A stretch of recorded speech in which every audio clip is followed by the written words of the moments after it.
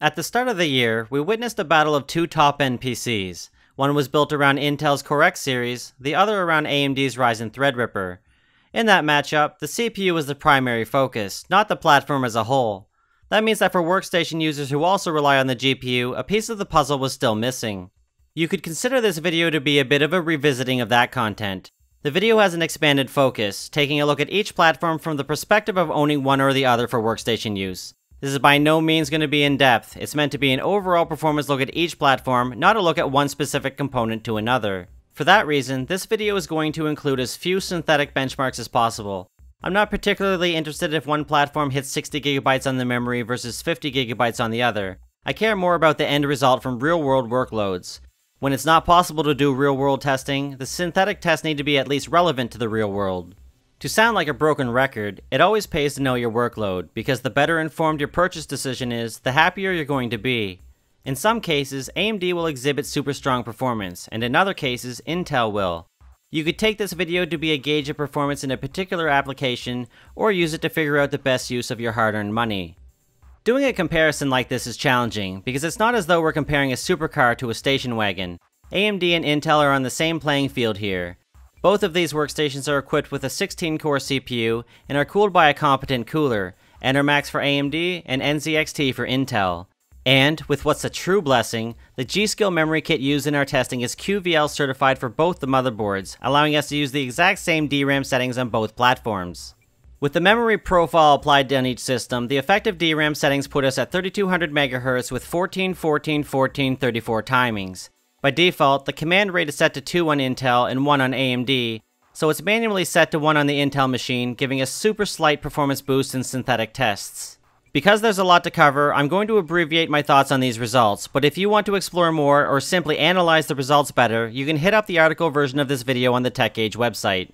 We took an in-depth look at viewport performance last week, focusing entirely on the graphics card. It's the graphics card that matters most with this kind of performance, but if the CPU is slow or has some other quirk, it could impact the workload in unexpected ways. Fortunately, we were able to see some obvious differences from the results ahead. In these results, Autodesk software seems to favor the higher IPC performance of Intel's processor, but at the same time, AMD managed to strike back and overtake the blue team in some cases. It even managed to come back ahead of Intel in the 3ds Max test, which runs at 1080p. There's another 3ds Max result later, looking at things from a different angle, so we'll see if this performance scaling persists. In AutoCAD, Intel didn't only deliver better CPU performance, it also brought about improved GPU performance. That seems odd, but it's not the first time I've seen this kind of behavior. For AutoCAD, Intel is the go-to. For the others, AMD fares just fine. If your workload is heavily GPU dependent, then the platform surrounding it might not matter too much, but it clearly can matter to some degree in both SolidWorks and CATIA. AMD's performance isn't exactly lacking though, with its 4K performance matching up nicely against Intel's. AMD has struggled in its battle against Intel in some of the apps up to this point, but it has no fear with Siemens NX. In fact, it managed to outperform Intel slightly at both resolutions. AMD and Intel swap places at the different resolutions with our PTC Creo test, and as odd as that might seem, the result was indeed repeatable in follow-up testing. Overall, ample performance is delivered from both. Wrapping up our look at the viewport tests, we have results catering to the medical and energy fields, no pun intended of course.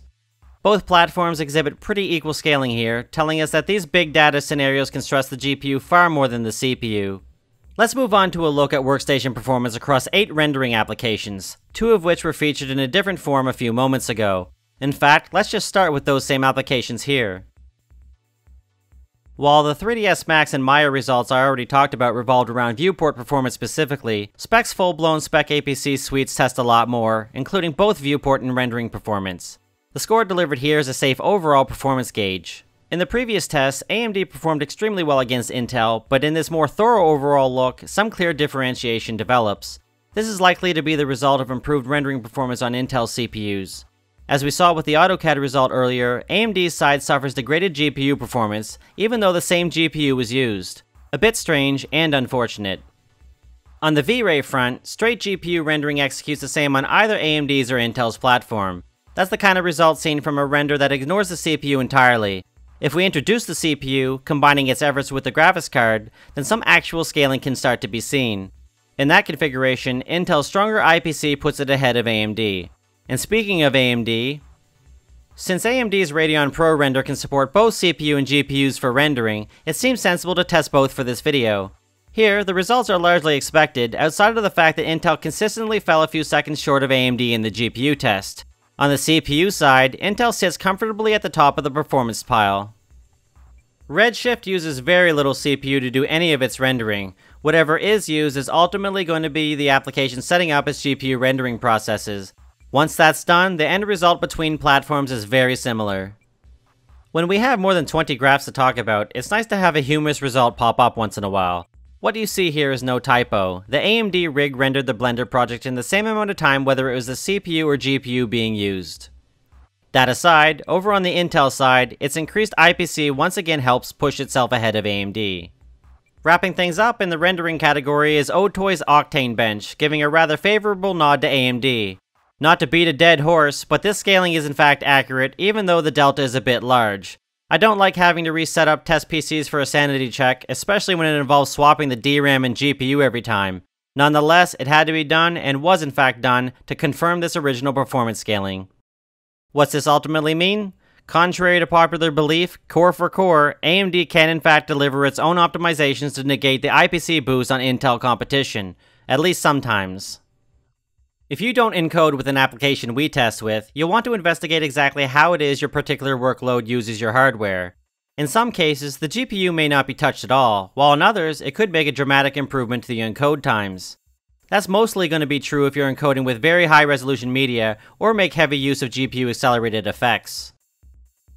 To give some background to this test, all three of the projects were configured to use CUDA, which employs the use of both the CPU and GPU, in the end, the picture that's painted here is one that puts AMD a fair bit behind Intel in all but the 4K HEVC test, which is actually a great thing to see considering Intel's typical H265 prowess. Overall, considering the fact that the GPU was utilized to the same degree on both systems and Intel still came quite a bit ahead in the H264 tests, the company claims a definite lead here. Both of our MAGIX Vegas tests are HEVC, so the fact that both platforms perform just about the same isn't too much of a surprise based on the HEVC result in the previous Premiere Pro test. For HEVC, AMD is on par with Intel. For 264, Intel clearly dominates.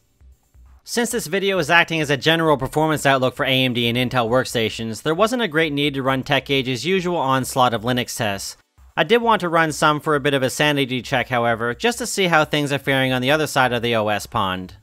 All four of the tests here use the CPU exclusively for processing, and that becomes evident in the results with Intel taking a clean lead in every single one of the tests. Note that higher results are better for the 7-zip and OpenSSL tests, while lower is better for the compilation and C-Ray test. It might have the smallest bar above, but the OpenSSL test shows the greatest performance lead of them all for Intel.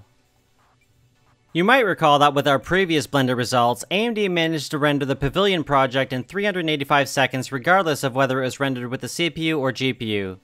When testing the same software in Linux, further interesting results can be seen.